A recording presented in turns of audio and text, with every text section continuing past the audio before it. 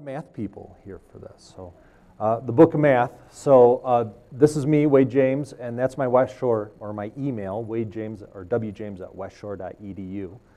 So that means I probably work at a place called the West Shore Community College. Um, I have a master's in ed tech and a master's in math and science education. So, guess what I do? I teach math. I'm academic technologist, and I'm also a Canvas admin. And this is me from InstructureCon in 2014, uh, hanging out. How many of you are, this is your first InstructureCon? Wow, really? That's cool, because you're going to get like really inspired, right? Like this is day one, and it's already been totally awesome. So if you're like me, you're going to be sitting at the Salt Lake City International Airport, probably Friday afternoon, and you're going to be waiting for your plane. You're going to be thinking, boy, should I present next year? Like, I got some really good ideas. And, and so this is what I was thinking. And so I'm thinking, should I talk about my open, my open math and do this? But nobody's going to want to hear me talk about mathematics, and it could be boring and all this. And so I decided to get up and go for a walk. True story. And I walk into a t shirt shop, and this is what I see on the shelf. So this is uh, Dwyane Wade and LeBron James jerseys for the Miami Heat last year when they were in the finals and that. So I, I was looking for a sign, and lo and behold, I got a sign. So, so that's how I got here. Okay. So we're going to do the Book of Math, and we're going to do this in three acts. Act one is something rotten. Act two, the Book of Math, and Act three, Canvas LTI, Wicked. Uh, these are all current Broadway musicals, so there's a play on word there. So, a few disclaimers. I do not work for My Open Math. I do not work for Canvas. And I'm not a hater. Well, if, that, if, if, that's cool. Um, but I think we have to know some of the struggles that math instructors have had in order to appreciate uh, what I'm about to present to you. So, I, I apologize for starting out with a little doom and gloom, but I want to go through a few things. And so, some of these things start with the idea number one, is that uh, most math online systems are walled gardens. I just call them wall math. Okay, so insert your, you know, mathematics publisher name here, whatever it is. Uh, many wall math sites are infractuous. You know what that means? Infractuous. It means uh, kind of weaving, and you got to go through a lot of meticulous steps in order to make something happen. And usually, this is encapsulated by their access code, the account rep, tech support, and it's difficult to manage access to content. So, for example, I have three adjunct faculty that I work with, and when one of them have an issue, they call me, and then I call the account rep, and then the account rep calls tech support, and then tech support goes back and forth. And it takes three or four days for the student to finally get their access code to get into the class because their financial aid just came in late. And it's just, it's difficult to manage. You also have to manage addition changes where maybe previous access codes fail. So we have an instructor that went from the third edition to the fourth edition, and guess what? All of those third edition access codes sitting in the bookstore, they don't work anymore. And now the bookstore's mad at me because they've bought all these access codes, and the student bought one online, right from Amazon, thinking it's going to work, but it doesn't work. And so just complications like this happen. And also format, uh, format changes to questions. Uh, I taught a physics class one time, and the problems that were presented from the publisher were wonderful. They were algorithmically generated problems. You know, you launch a projectile at a certain angle with a certain velocity, and you had to put in numbers for answers.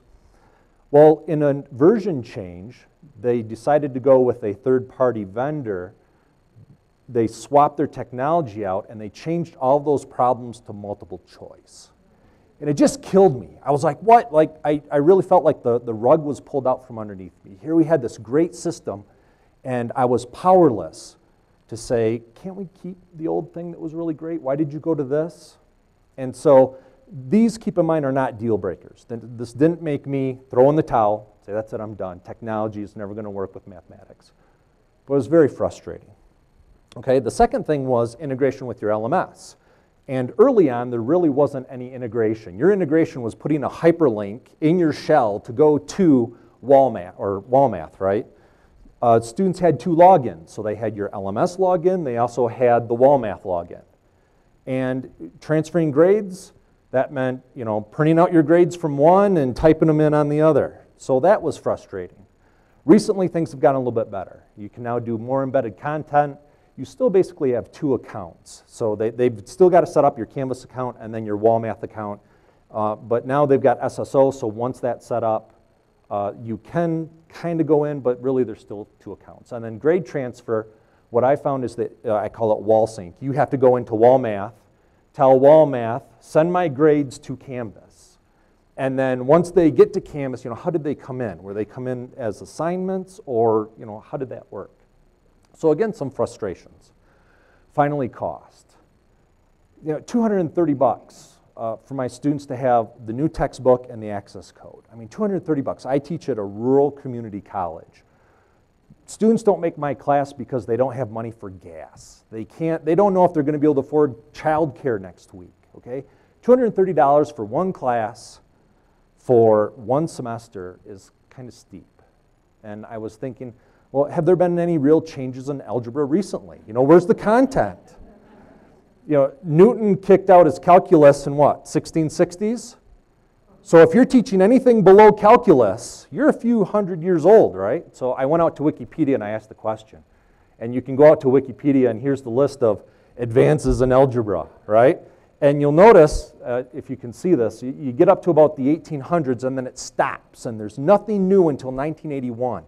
And and even the 81 stuff, I mean, it's way up here, right? Like, you're not teaching your students this stuff. This is like advanced abstract algebra type stuff, right? So, the, so we're teaching a content, many of us are teaching content that, are, you know, 300, 400, 500 years old, maybe 1,000 years old. Why do I need a new textbook edition every three years? It's the same content. We're still solving for x, and we're still using the same rules. So this is part of my something's rotten, right? Like just frustration. So Act 2. I found the book of math. And my book of math is called My Open Math. And this isn't the silver bullet, but it pushes us in the right direction. My Open Math was uh, created by David Lippman while he was at Washington State in 2005. And then in 2011, he decided to make it available to everyone. Sort of like Khan Academy, right? Like, hey, here's this cool thing, and we're just going to broadcast it out to everyone. So um, the benefits of my open math, and we're going to go into some of these in a little bit. First of all, it's open, kind of like Canvas. You know, it, it's open. The public sites are hosted, but if you want to run a private site, go to GitHub, download the source code, install it, run it on your server, whatever. You can do the private thing if you want. Again, just like Canvas, right? Like you can go get Canvas on GitHub and install it on your, but why would you? Right? Just host it for me. Um, once this got out into the wild, people started developing questions and content for it. And you can go to, and I, I apologize, the scaling of my slides a little bit off, but opentextbookstore.com. And this is a resource where people have made textbooks that you can use for your class. And they cover everything from pre algebra all the way to calculus. With My Open Math, you can import entire courses, which we'll show you, and the problems are editable. Not just like the content, like you know, changing words, but you can go in and change the random number variables. You know, like if, if it randomly picks a number between 1 and 10, you can change that to randomly pick a number between 1 and 100. And if there is an error in the question, you can go in and fix it. So it, it's pretty cool. The second good thing about My Open Math is its integration with Canvas. We are talking about a tight integration. My Open Math keeps it simple. The LTI integration is simple to set up. Importing content and links is pretty simple, and it's simple for students to access. They don't even know they're using a third party site because all they do is they log into Canvas, and MyOpenMath through the LTI uses their username and password from Canvas to create an account.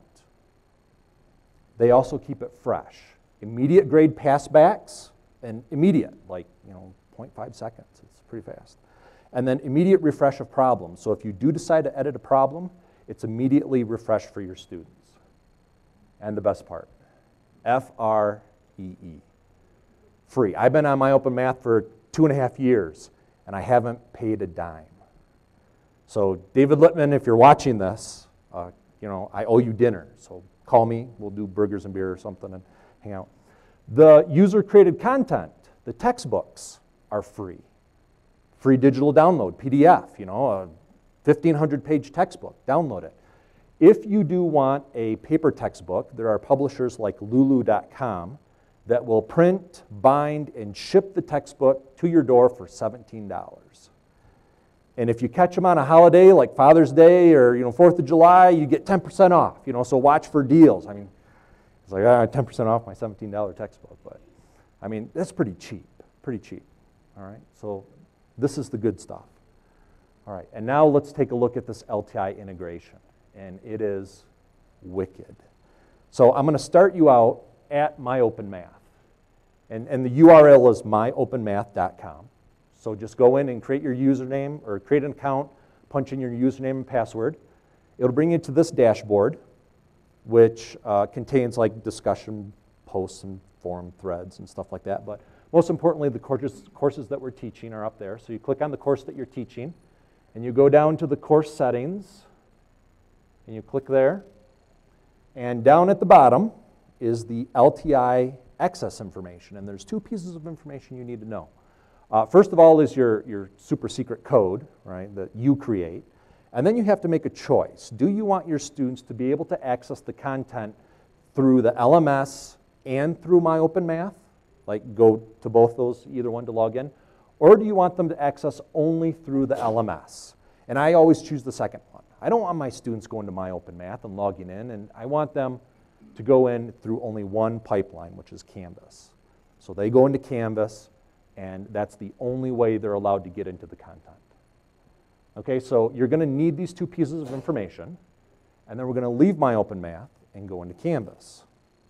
So now we're in Canvas, and you go into your course, you go to Course Settings, then you click on the Apps tab, and you go and find the MyOpenMath LTI app. And it's in there. Uh, they're listed alphabetically, so just go find it. And then you click Add App. And you'll get this dialog box. And this is where you paste the information we copied from MyOpenMath. And so you put in your consumer key, which is the, the code whether you want the students to go in directly or, you know, or two ways to go in through the MyOpenMath and Canvas or just through Canvas. And then the shared secret. And then once you punch this information in, uh, you're connected and um, you can start adding assignments right into your Canvas shell. So we're going to go to a live demo and show you this. Um, but before we do, once again, that's my email address. Um, I have a Twitter handle, Wade James, but um, at yesterday's keynote, that was like the first time I've used it in like three years. So, so uh, but, but I'll check it. But let's go to this live demo. Okay, so uh, I'm here in Canvas. And you'll notice that I have some assignments built here. You can't see that side, can you?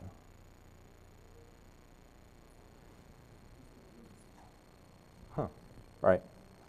So um, what we'll do is, uh, you'll notice I've got some homework assignments here, and I'm missing 1.1, so I'm going to add 1.1. I've already got the uh, integration set up. So I'm just going to go to assignments.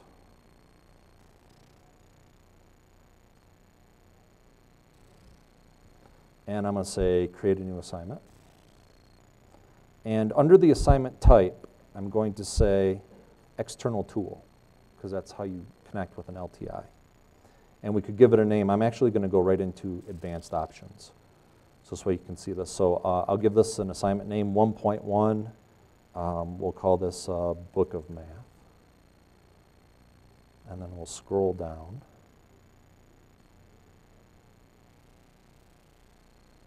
and we'll give it, say, 10 points.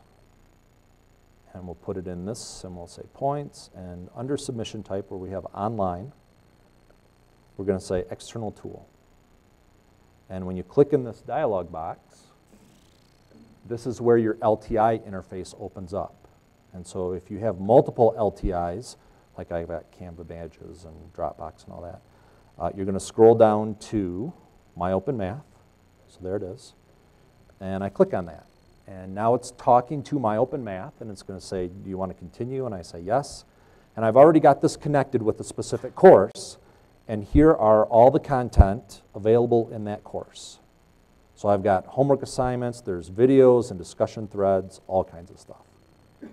And so I'm going to select this 1.1 linear equations and graphs, and I'm going to say make placement, and then click all the buttons you need to to save it. We'll say save and publish. And now this assignment is available. And what you're seeing here is actually the MyOpenMath interface. Uh, problem sets are off on the left, and the actual problem is on the right. And so let's go in and take a look at this as a student. So I'm going to go into uh, Homepage, and I need to add this assignment into my module. So I'm going to say add something, and it's an assignment. So there it is, 1.1 Book of Math. So I add it in there, and then I'll just, uh, I'll move it up here. There we go. Okay, so now I'm going to go back to uh, settings. I'm going to go into student view. So I'll go in as a test student to show you uh, what this looks like from the student perspective. So the student comes in and they go right here and they click on it and continue. And here is the homework assignment and um, let, us do this one. So we'll say uh, slope of the line between these two points. So 10 minus negative 9, 10 minus negative 9. Is that 19? And then uh, 2 minus 6, I think that's negative 4. Uh, we can hit preview, and it will decimalize it for us. So we don't necessarily need our calculator because it does the decimalization. And we'll say submit. And green means good, you got it right. So I got, I got one point out of that. Yeah, fire away.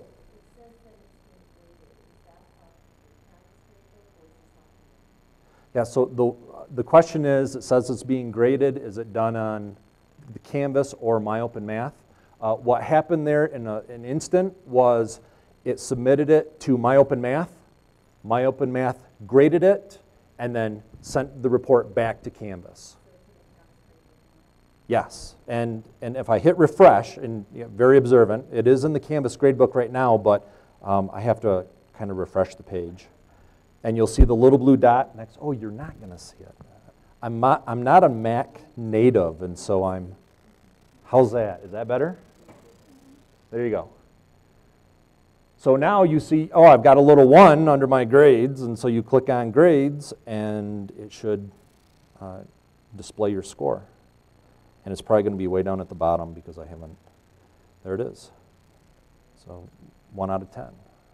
And so it, it does it uh, instantaneously, instantaneously. Yep.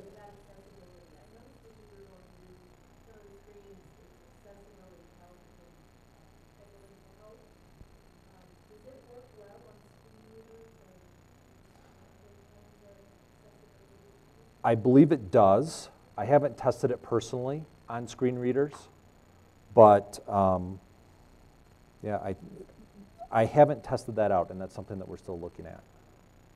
So yeah, one more.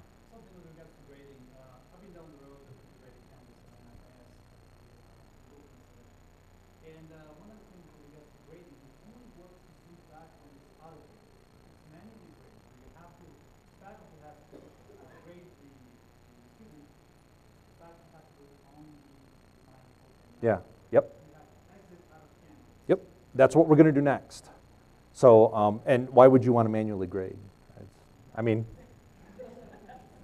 and, these are these are very much um, you know auto graded. Students go in, crank on this stuff, and if they have a question, they post it to the form and they do all this. But yeah, so so I just want to show you that this works. You know, the live grade transfers. Let's get out of this and actually go to uh, MyOpenMath. And the reason I shut down Chrome is because, yeah, we're going to, you can end up with some permission wonkiness between Canvas and MyOpenMath once you start doing things in the LTI. So I'm going to actually open up Firefox. So that way I don't have to worry about that.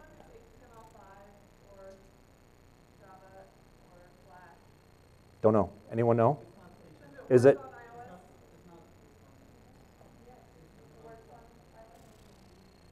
Yeah, it does work on iOS. So we'll do this. And the question was, is it HTML5 compliant, Java, Flash? And I'm not sure. I know it works on uh, iOS devices.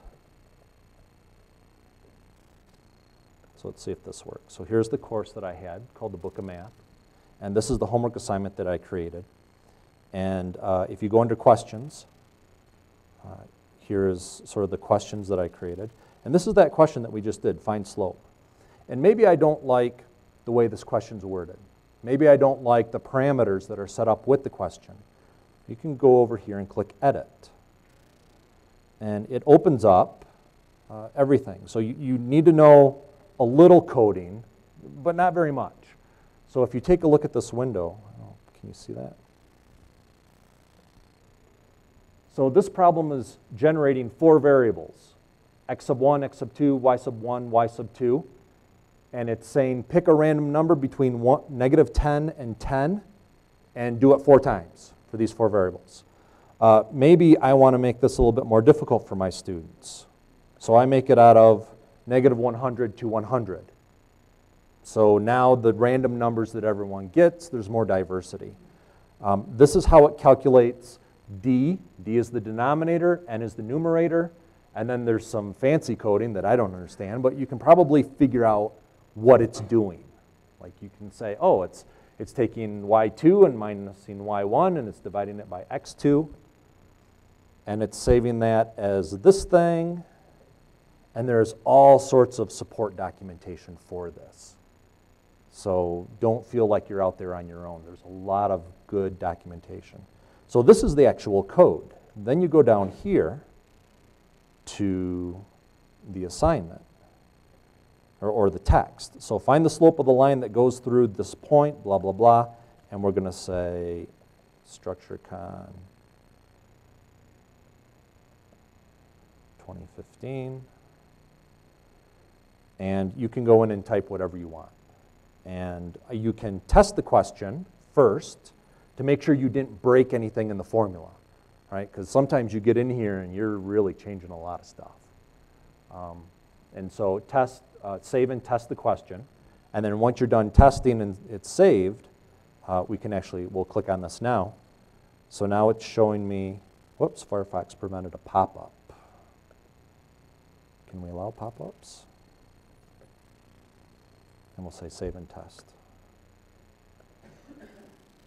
And so this interface comes up and it actually shows you now what the updated question looks like. Um, as a note, it saves this question what they call locally.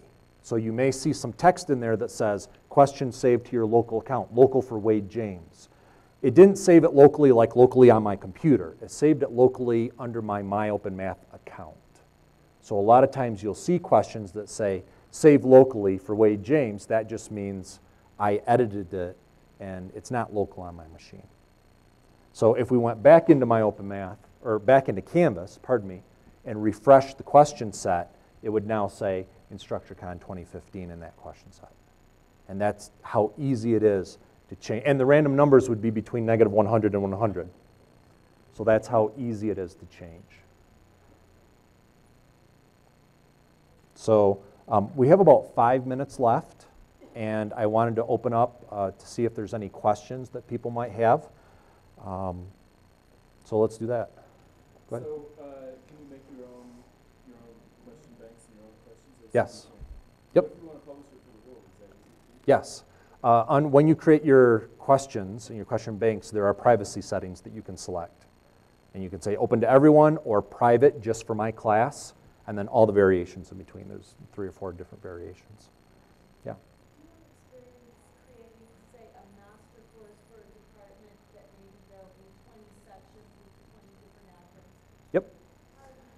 I did it myself first. So I created the course and I went into my open math and I created all the links and did all that stuff. And then I just went to Canvas and copied the class and it worked. Um, I, it, I may be oversimplifying it, you then have to create, well, you have to create an account for your adjunct or, or another person, whoever's teaching the course. But all of the data, uh, remember when we set up those course parameters in the LTI? If you want the data to go to the original shell course, you leave those numbers alone. If you want it to go to a specific adjuncts course or another professor's course, then you have to change those numbers and tell it, put that data into their course. And they have to become proficient in MyOpenMath. So do they first copy your MyOpen Math course into their own MyOpen Math course, or are they just sourcing from your MyOpen Math into their Canvas? Yeah, what they would do is they would create their own MyOpenMath account. They would import all my stuff into their MyOpenMath, and then they would copy my Canvas course into their Canvas shell, and then we make sure that those two course numbers match up. I'm sure there's an API out there that'll do it for you. I don't have the API knowledge to do it, so I'm sorry, but good question. Yeah. Uh, I was gonna ask the same accessibility question asked previously, um, and there is, for instance, you know, if you or my open math plan to do the accessibility testing, or would that be on us as an individual? Uh, I could Google it real fast and see uh, if they have accessibility. Uh, when you do go to My Open Math, if you go to the home page, uh, there is a lot of information under this help button. And yeah, we, we could probably Google it, but uh, we've been on this, I've been on it for a while. Um, I'm starting to mass produce it out to adjunct as well. And so we're, Whoever asked the question, if, if we get our accessibility testing on it, I'll add it to the board. yeah. Go ahead.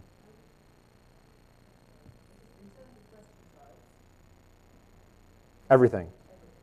Um, and I didn't get into this homework assignment very much, but you can do graphs.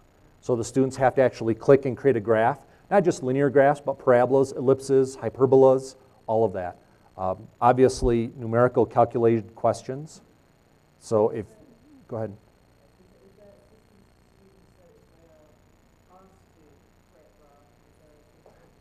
Yes. Um, in one of the options, and a lot of students think when they take my class, because it's online homework, that you have to be online to do your homework.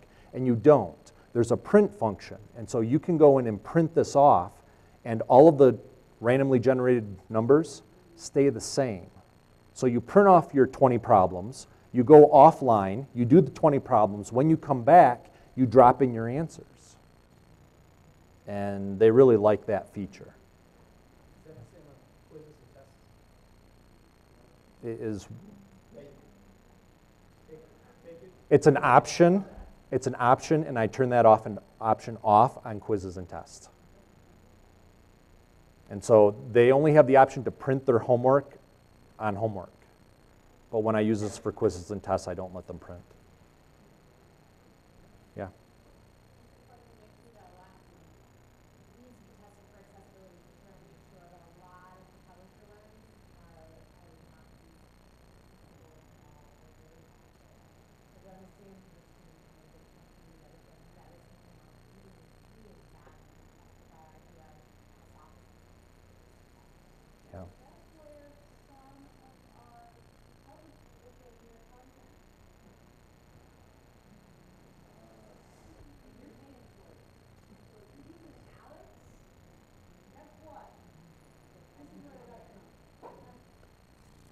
And um, we're almost out of time. I'm staying around until, you know, I'll be here till 10 o'clock if you guys want to stay till 10 o'clock. But I know dinner's coming up, and um, I'm really excited about this. And if, again, if you have any questions, um, the accessibility is one, but once you get into My Open Math, that's the first step. And then you start getting into all these options. And I would have loved to have gone over all the options in My Open Math, but there's just too many in this short period of time. So, yeah, please email me. Yep. So enjoy dinner, and if you want to chat more, come on up. Thank you.